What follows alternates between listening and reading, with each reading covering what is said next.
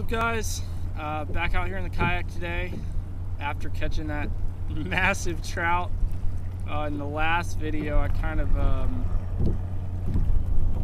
wanted to get out here as soon as possible but uh, waiting on the tide to come in a little bit and I was fortunate enough to have a friend that had some mud minnows that wasn't going to be going out so I was able to get those mud minnows from him and so I'll be dragging around a mud minnow behind me and then throwing an artificial in front of me. But right now, while I wait for the tide to come in, I'm sitting out here next to some isolated patch reefs of oysters and I'm floating a uh, mud minnow out by these patch reefs to see if there's any fish around them. And uh, when the tide gets in some, I'll start heading closer to the grass edges and doing what I was planning on doing earlier. So uh, stay tuned. Hopefully we get some good fish. And other than that, it's going to be a nice paddle. So hopefully we get some though. Well, that didn't take long. I'm hooked up into something. Not sure what it is. Little rat red.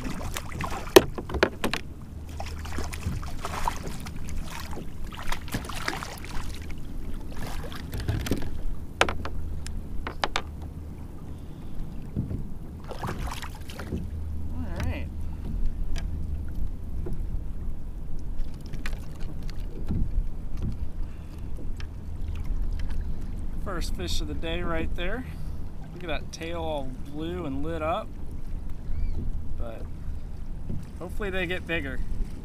But first one on the mud minnow, it's pretty good. All right, Bye bye. Woo wee! Let's try that again. That's fun. Another fish on. Fish on. Might be a better fish. No, another little rat red. Like he was a little heavier though.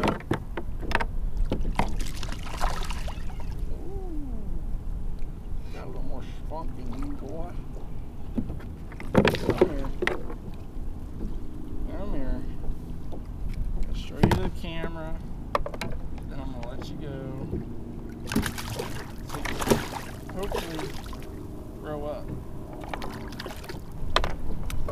There he is. Another little rat red.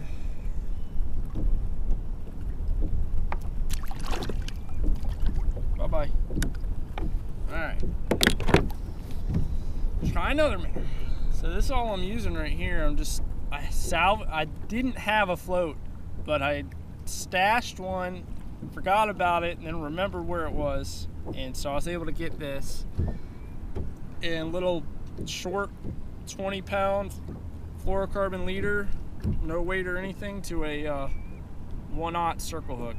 And I'm just throwing it out next to me and just letting it float right by these these um, oyster reefs that are right right beside me. And uh, done four drifts so far and two fish, so pretty good.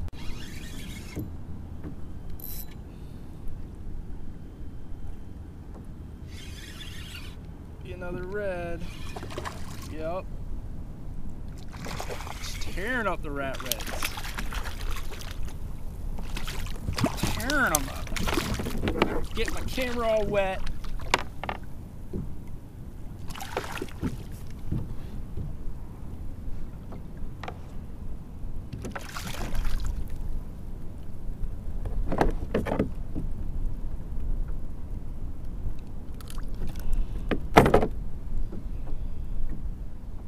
It might be a little bit bigger, but three fish in pretty pretty small amount of time. And I mean float fishing, you just can't beat watching that float go under. So let him go. Rebate.